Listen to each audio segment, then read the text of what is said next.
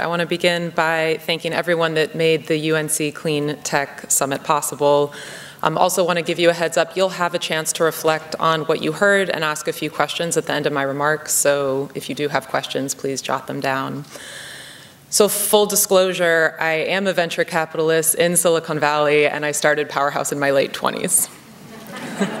I was definitely an aspiring hopeful, as it was described.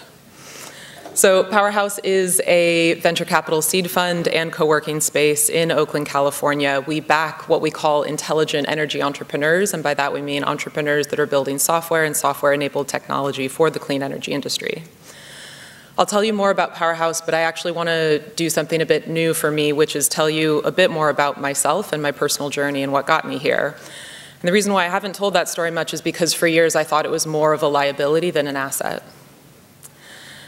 My education and career path are very far from what's considered conventional or normal. I was born and raised in the San Francisco Bay Area, and at 15 I was pretty uh, dissatisfied with the education system despite being a natural learner and being curious about the world. And so at 16, I moved abroad to South Africa by myself to try to get some global perspective. You can imagine my parents weren't too thrilled. My senior year, I came back and had no intention of finishing high school at the high school that I started at. Again, my parents weren't particularly happy.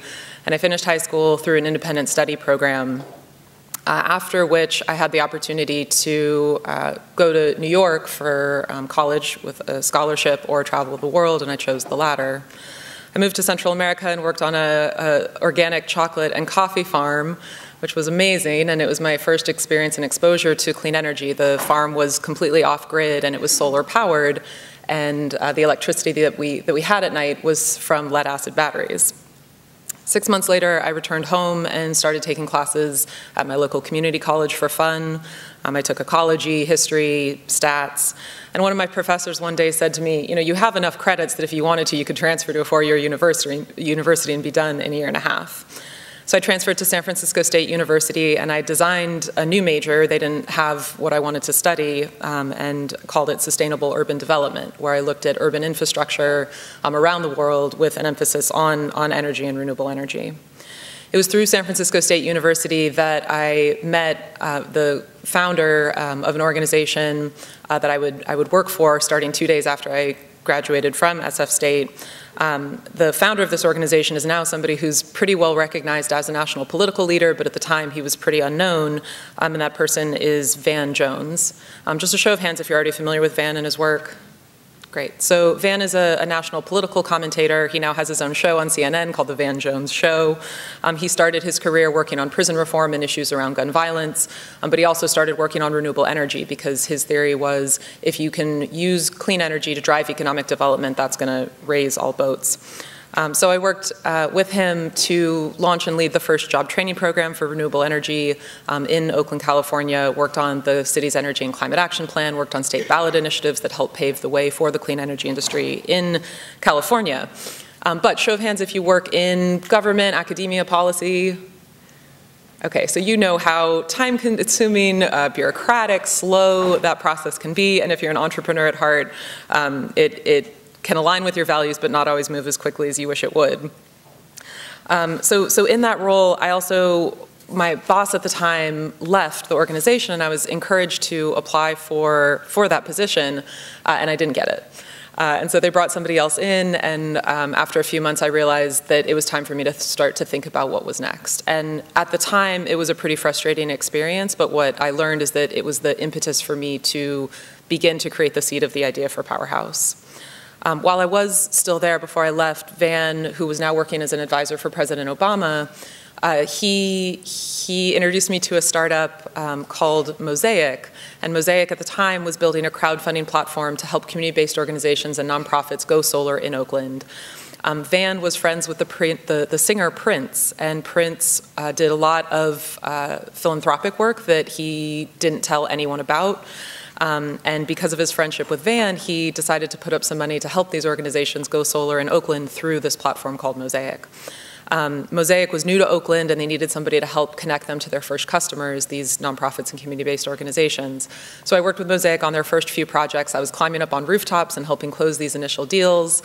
Um, my, the person who became my co-founder in Powerhouse was connecting Mosaic to their first, their, their, first investors uh, and was giving them free office space in an old office that they had.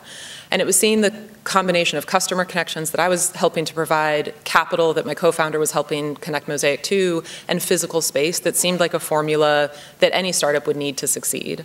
And so the idea for Powerhouse came from that work, and, and the idea was that there must be five or 10 or 50 or 500 other Mosaics out there that if given the right support in the form of customer capital and physical space, the chances of success, the chances of, of startups succeeding much more so than we just saw, are going to be much higher than if they're out there on their own trying to do it by themselves.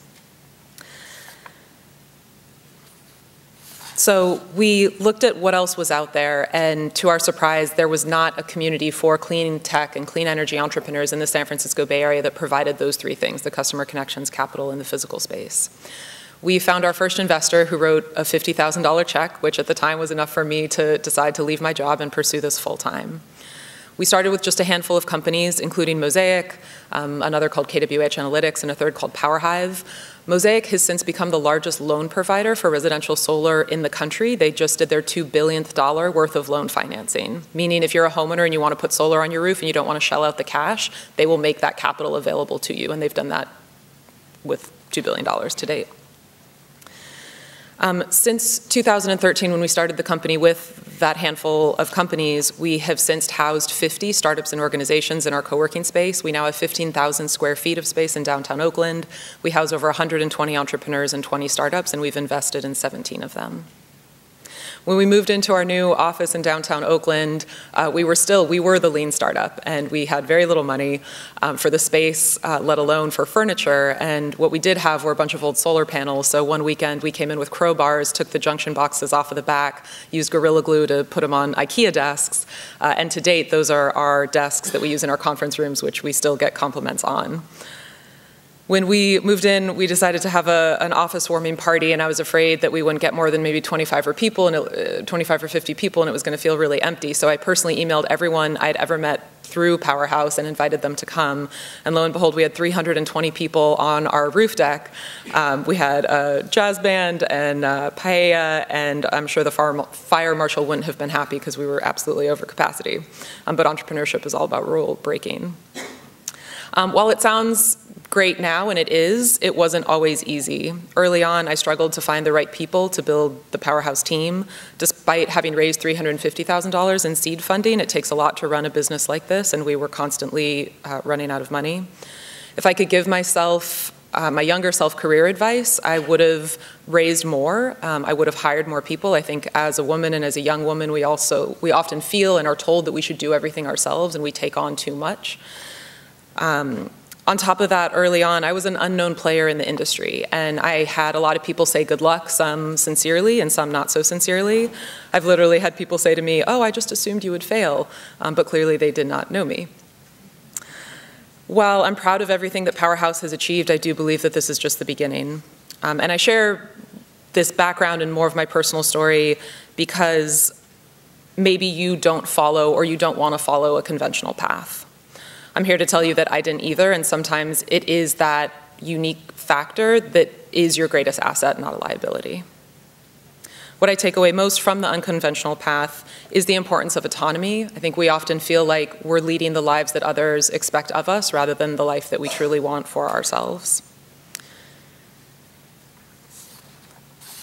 Not so long ago, clean energy was also the unconventional path. Clean energy was the outsider um, but that is changing really quickly. Um, according to Bloomberg New Energy Finance, there are five fun facts that help shed some light on where we are as an industry and where we're going.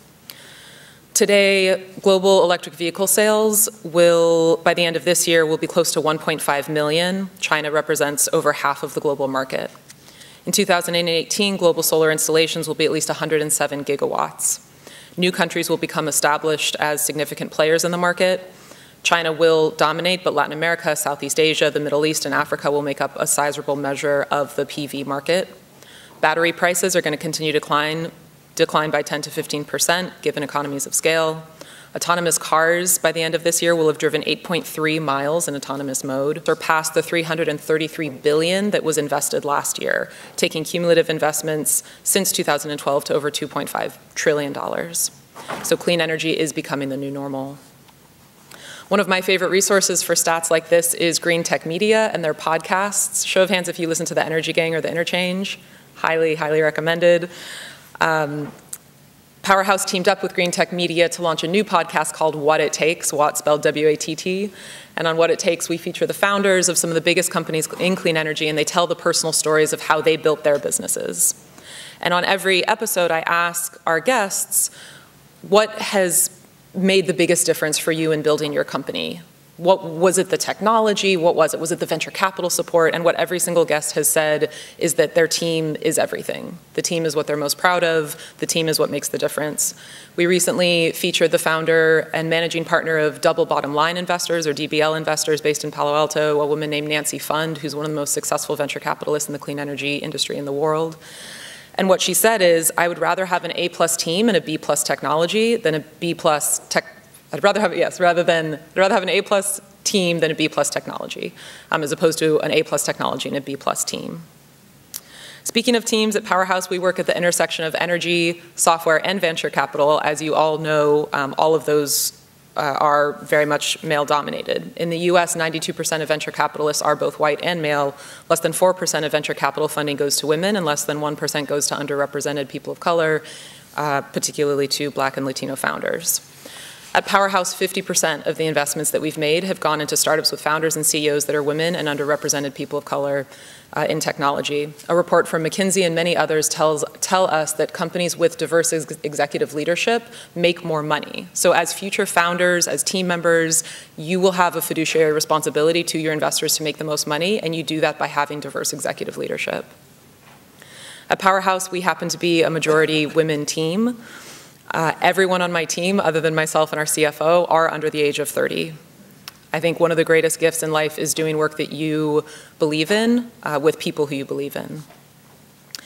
Every Wednesday at, open, at, at, Powerhouse, we do something called Open House. If you're ever in the San Francisco Bay Area, you're welcome to join. It's from 2 to 2.30. It's a 30-minute speed session where the entrepreneurs that are in Powerhouse that day and invited guests circle up, and each person has a minute to share who they are and what they do so that we can build relationships with one another and bring the broader community in. And we also do a question of the week. So uh, this week, I told them I was coming here and asked them, what would you want this audience of students and entrepreneurs and future entrepreneurs to know?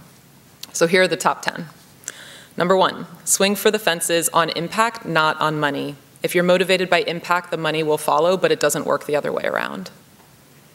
Number two, clean energy is broad. There are opportunities for every major, every interest, and every skill set. Number three, don't get jaded, you're young. Things will change in unexpected ways, and it's your generation that will define the future of energy, so roll with it and adapt. Number four, as an entrepreneur, you will have to want the thing you're building so much that you're willing to tell thousands of people about it because most people won't care. Number five, work where you can see the difference that you make every day. Number six, seek genuine understanding before creating something. If you want to build a startup, work at one or two or three before you start your own.